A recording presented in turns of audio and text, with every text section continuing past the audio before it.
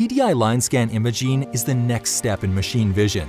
It enables faster, more accurate ways of capturing products and materials for inspection and analysis. TDI stands for Time Delay and Integration and is an evolution of the line scanning method. With line scanning, a camera continuously captures single rows of pixels, which are collected and combined by a frame grabber into 2D images.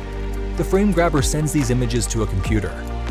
This method has great advantages compared to area scan cameras, as the throughput of objects can be continuous and the height of the image is limitless. TDI cameras improve the line scanning method by using multiple scanning lines.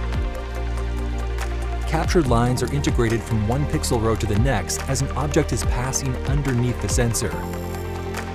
This gradual buildup of captured information greatly improves the quality of the images, decreases the lighting requirements, and allows for faster throughput. With a line rate of 1 MHz, Prodrive Technologies Sonic is the fastest TDI camera available on the market today. It is available in multiple coatings for responsivity in different wavelengths. It has 256 TDI stages and is available with 4, 8, and 16K columns. Please contact us for more information.